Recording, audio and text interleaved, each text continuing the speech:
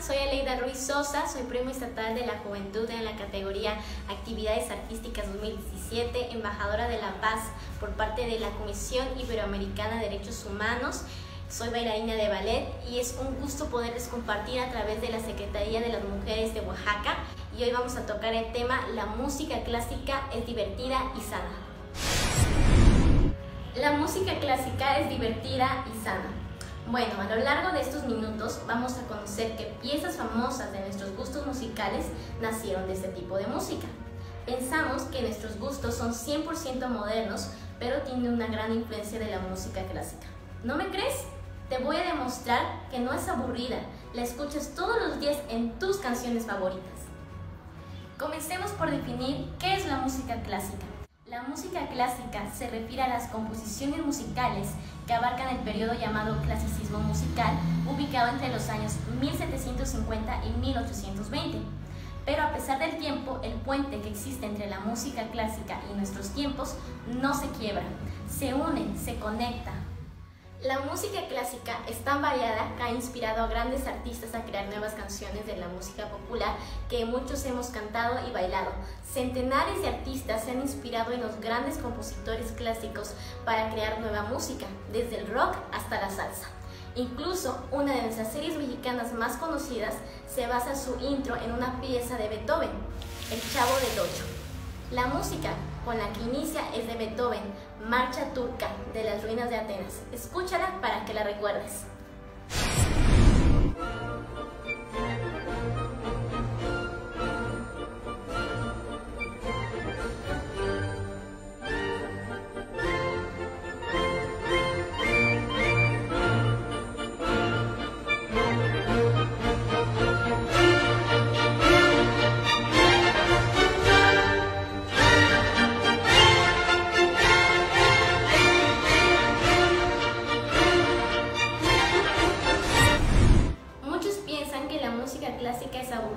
Enfadosa y pasada de moda.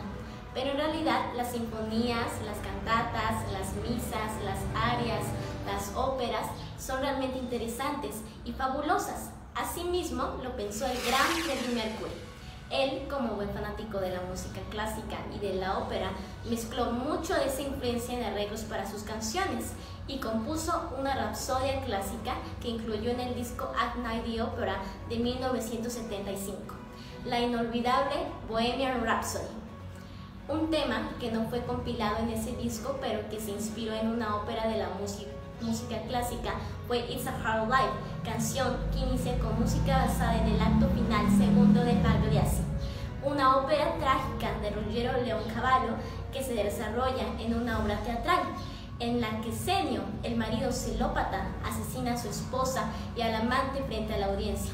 Oigámosla a continuación.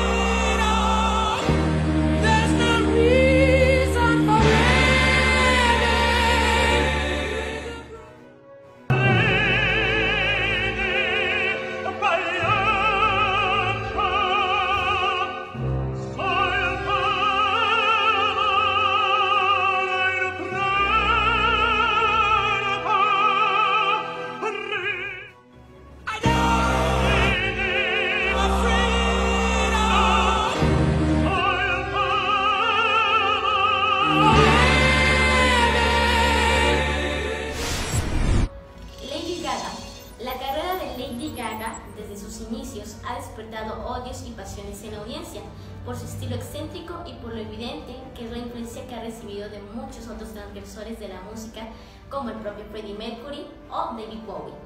Lo cierto es que guste o no, Lady Gaga es fácilmente la artista pop más versátil de la música contemporánea. En sus propios temas ha experimentado con electrónica, el rock y por supuesto con la música clásica. Asimismo, ha prestado su voz para colaboraciones que van desde el sonido yacero hasta el orquestal. En esos experimentos, ya sea por iniciativa propia o de una regrista, la canción Alejandro de Gaga inicia con Shardas, del compositor italiano Vittorio Monti. El tema instrumental fue compuesto en 1904 para piano, mandolina y violín. inspirado en Stardust húngaro que se toca y se baila en Hungría. De hecho, esta es la obra más famosa de Monty como compositor y el Stardust más popular. De la pieza original, Lady Gaga tomó el arranque del violín para poner en ambiente seductor a quien escuche Alejandro, canción coescrita y coproducida por ella, en la que se despide de tres amantes latinos. En la introducción y en la salida de su video para la canción Bad Romance se escucha un sample de preludio y fuga, número 4 de Beethoven. Vamos a escucharla. I know that we are young and I know that you may love me. But I just can't be with you like this anymore. Alejandro.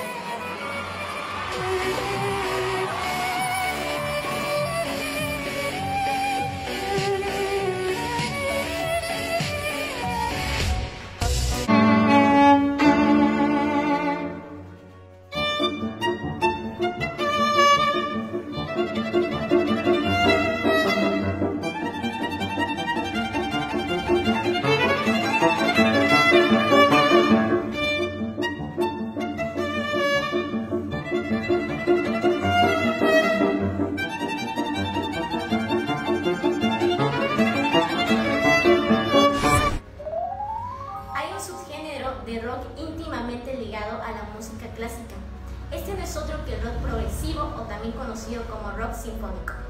Podríamos situar los inicios de este movimiento musical en el concierto para grupo y orquesta que Deep Purple grabó junto a la Royal Philharmonic. Y es que el rock progresivo siempre hizo un enorme esfuerzo por la búsqueda de técnicas de instrumentación y de composición frecuentemente asociadas a la música clásica en un esfuerzo casi titánico por proveer al rock del mismo nivel de sofisticación musical que tenía en esta última. Vamos a escucharla.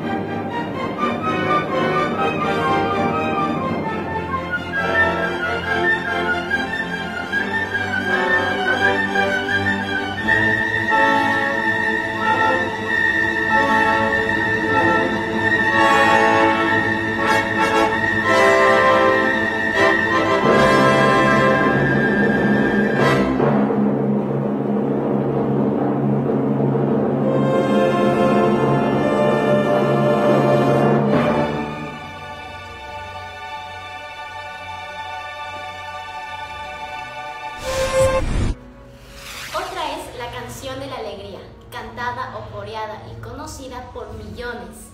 También es de Beethoven y es el cuarto movimiento de la Sinfonía número 9 coral. Vamos a escucharla. La canción de la alegría. El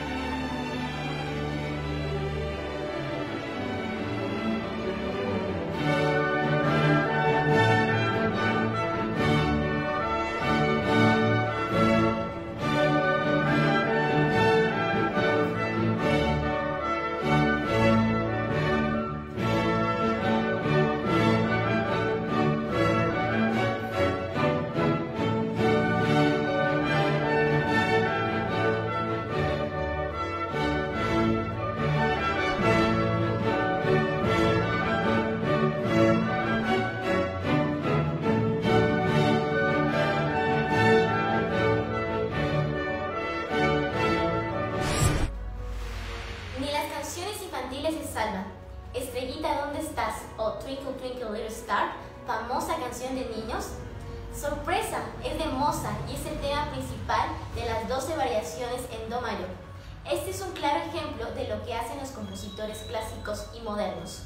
Toman un tema central y lo convierten, por ejemplo, en ritmos distintos. De esta manera, en esencia es lo mismo, pero hacen que suene diferente al oído común.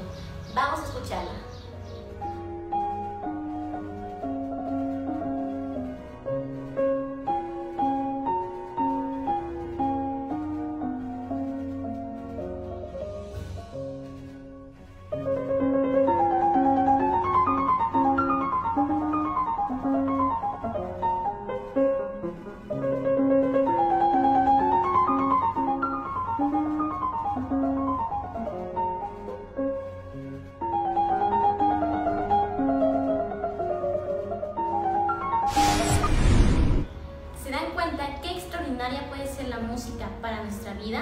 Que con solo siete notas se han compuesto millones de canciones y se compondrán millones más.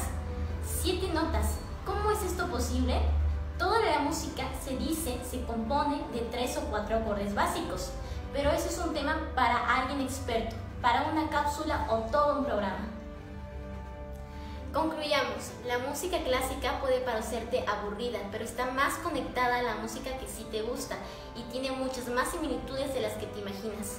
Pon atención, anímate a escuchar música clásica y tratar de reconocer en ellas otras canciones que conozcas.